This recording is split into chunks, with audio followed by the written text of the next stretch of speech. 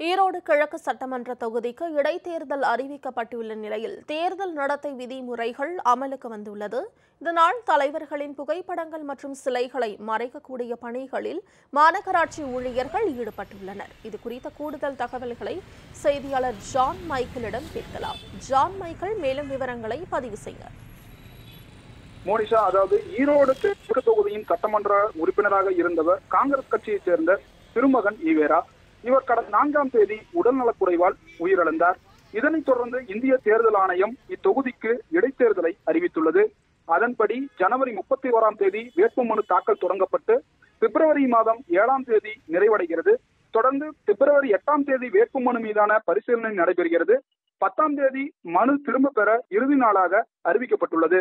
இதனைத் தொடர்ந்து பிப்ரவரி மாதம் இருபத்தி ஏழாம் தேதி வாக்குப்பதிவு நடத்தப்பட்டு மார்ச் மாதம் இரண்டாம் தேதி வாக்கு எண்ணிக்கை நடைபெற உள்ளது இதனைத் தொடர்ந்து பார்த்தோம் அப்படின்னா தேர்தல் நடத்தை விதிமுறைகள் உடனடியாக அமலுக்கு வந்துள்ளது.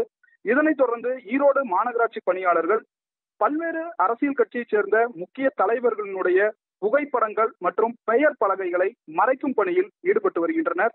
குறிப்பாக மாநகராட்சி வளாகம் தாலுகா அலுவலகம் உட்பட அரசு அலுவலகங்களில் உள்ள தலைவர்களுடைய படங்களை மறைக்கும் பணியில் அதிகாரிகள் அலுவலர்கள் ஈடுபடுகின்றனர்.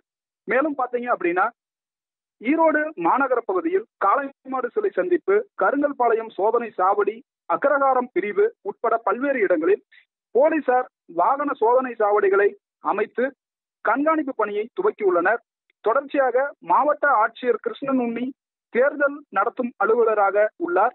அவர்களுடைய தலைமையில் அதிகாரிகளும் காவல்துறையினரும் இணைந்து பறக்கும் படை அமைத்து தீவிர வாகன சோதனையிலும் ஈடுபட்டு வருகின்றனர். குறிப்பாக இந்த தொகுதியில் பார்த்தோம் அப்படின்னா மொத்தம் இரண்டு லட்சத்தி இருபத்தி ஆறாயிரத்தி எட்நூத்தி எழுபத்தி ஆறு பேர் வாக்காளர்களாக இடம்பெற்றுள்ளனர். இதனைத் தொடர்ந்து பல்வேறு அரசியல் கட்சிகளும் இடைத்தேர்தல் பணிகளை முழுவீச்சில் மேற்கொண்டு வருகின்றனர்.